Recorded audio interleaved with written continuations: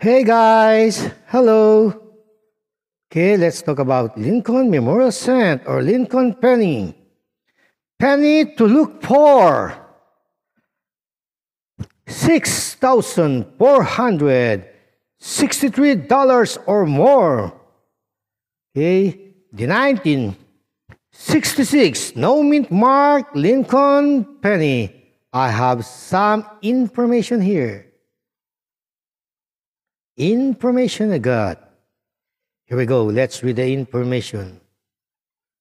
The most valuable 1966 penny to have ever sold at auction was graded MS67RD by Professional Coin Grading Service and took $6,463 in a 2012 auction.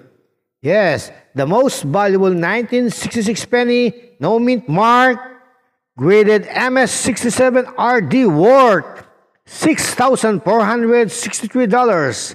So, if you find, or if you have, or if you get the MS68, MS69, and the MS70, that is worth more than $7,000.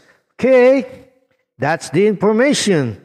If you get, or if you have, or if you find the MS68, the MS69, or the MS70, that is worth more than $7,000 or $10,000 or $15,000. Okay? MS68 and MS69 and MS70, it's a very high grade. It's very hard to find. Okay? That's all. I hope I was able to provide some information for coin collecting. Bye for now and have a great day.